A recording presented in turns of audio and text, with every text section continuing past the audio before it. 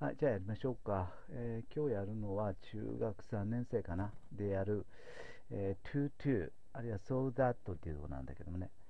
えーっと、まあそんなね、あのー大きいとこじゃないけども、よく出るよね。特に私立の、うん、入試問題、私立高校の入試問題では、一昔前の場合はね、本当に絶対出てたっていう感じのあの問題でね、えー書き換えでね。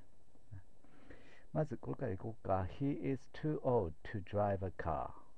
He is too old to drive a car.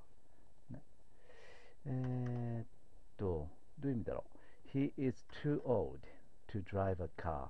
ねえーこの to はね、何を表してるかっていうと、基準を表してるわけよ。どう書こうかな。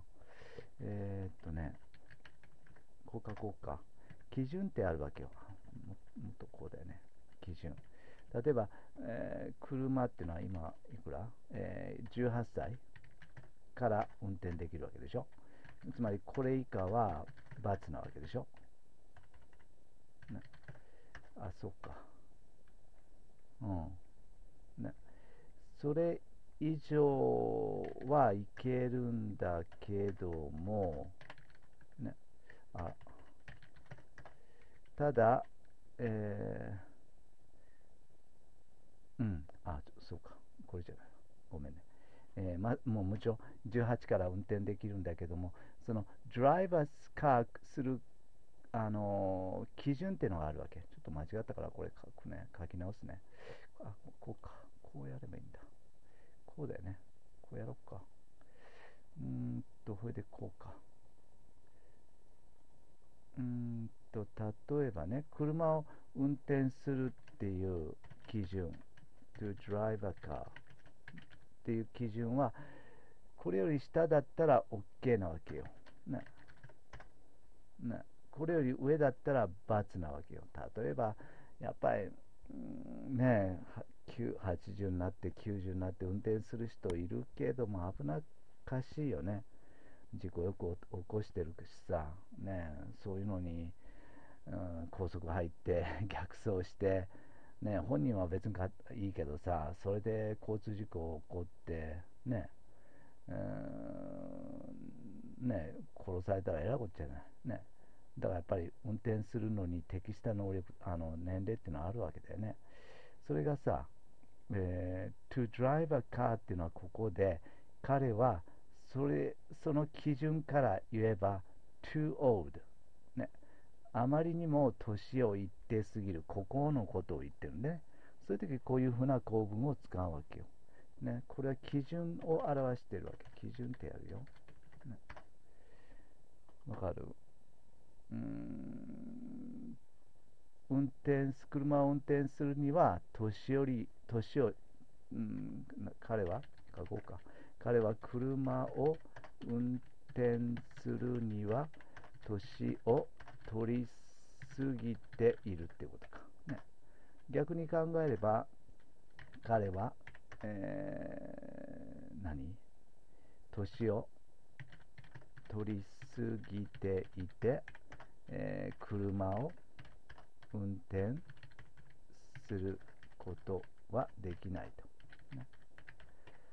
っていうことなんでね、えー同じ風こっちがね、もともとの意味だけども、ね、要するに程度を表しているわけよ。彼はその程度を越していると、オールドっていう程度を越していると。何する基準から越しているかっていうと、to drive a car するにはねね、そういう意味なのね。もう一つこれとよく似た構文で、うん、これか。これちょっとこっち同じように書くね。He is old enough to drive a car、今度はさ、今度はね、逆なのよ。これがあって、ああ、間違ったね。これあって、今度はこういうことになるわけね。つまり、to drive a car する基準があるわけ。ね。例えば、まあ、18だとしようよ。ね。まあ、車運転できるの18でしょ、免許取れるの。18から下はダメね。ね。うん、これヤングだからダメ。ね。too young ななんでね。ところが、18から上は、ね、いいわけ。ね。これもやっぱり基準を表してて、この to drive a car っていうのは、その基準から基準に照らし合わせれば、彼はもう十分 old enough、ねえー、OK だと。そういうことなのよ。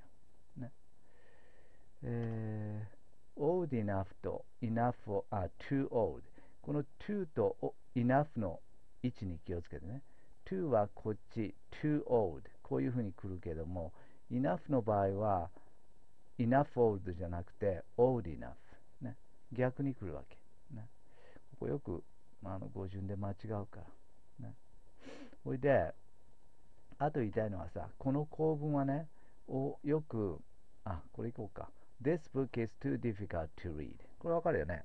この本は難しすぎると。どうすることには、えー、to read するには、ね、逆に言えば難しすぎて読めないってことでしょ。でこの場合はさだ一般的にはっていうことなのね。もしか私にとってはっていうかね。あるいは子供にとってはだったら for children to read って入れるわけ、ね、ここまでいい、えー、enough もそうだよ、ね。えー、This book is easy enough for children to read そういうふうにやればいいよね。ほいであとねえー、この構文、例えばこういう構文ね。You are too young to go there. あなたは若すぎてそこへは行けない。ね、それをさ、こういうふうにも書けるわけよ。You are so young that you cannot go there、ね。要するに、これはほら、ただ不定詞で書いてるわけでしょ。この不定詞の部分を that 以下の文で書くわけよ。ね。わかる？だから、これ同じことやると This book is so difficult that children で cannot か read it. ってちょっとこの辺難しいんだよね。あの that の以下は that 以下はさちゃんとした文になるからねこの it っていうのいるいるんだけどもこっちはね文じゃないからね to read のままでいいんだけどね。ね要するに言いたいことはね、これ何を表してるかっていうと、so difficult、すごく難しいと。すごく難しいだけじゃどれ、どれぐらい難しいのかわかんないでしょ？だからこれもやっぱり that 以下ほど難しいっていうわけ。程度を表してるわけ。ね。うん。enough to もこういうふうに書き直せるよね。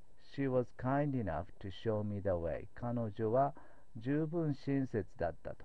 どういう基準からっていうと、show me the way。てくれるっていう基準から言うと十分親切だった。これさ、よくね、訳す訳すときはね、彼は、あ、彼女は、えー、親切にも、ねえー、道を教えてくれた。ね、って訳すよね、普通はね。She was so kind that she showed me the way. ね、これも同じだね。要するに、えー、公式化してみると、to to っていうのは、ね、to to っていうのは、so that not ってできるわけ。ね、ほで、なんとか enough to っていうのは、so that そのまま、ね、肯定文になるわけ。cannot じゃなくてね。まあ、あとも同じだと思うけど、This, the stove was too expensive for Amy to buy. The stove was so expensive that Amy couldn't buy it. Couldn't ってなるよ。もちろん過去だからね。ね This book is too difficult for children to read. これはさっきやってね。He is too old to work. 彼は年を取っていて働働けないと。He is so old that he can't work. ね、うん。あのね、ただ言っとくけど、すべてのこうあの to to が全部 so that に書き換えれるとは限らないよ。例えばこれでこれをさ、so that で書いたらさ、He is so old that he cannot drive a car. あ、合ってるのか彼は、これはいいのか ?He is too old to drive a car. He is so old that he cannot drive a car. あ、これはいけるわけか。でもさ、これはさ、どうかな ?He is old enough to drive a car だったら、He is so old that he can drive a car になるよね。彼はすごく年を取っていて車を運転できる、うん、普通は逆だよね。ね。すごくこれ、so old っていうからには70、80、90とかそんなぐらいだよ。ね。うんね、全部が全部ね、できるとは限らないから、あの、so that にね。ね。えー、っと、あとは、そんな感じかな。あとは問題いっぱいやって、ね、so that に書き直す練習やっといた方がいいかな。ね、so that に書き直すときは、うん、こういうふうに目的語が来る場合があるし、ここで cannot が couldn't になる、そういう場合もあるってことでね。ねはい。じゃあ一応、これで終わりましょうか。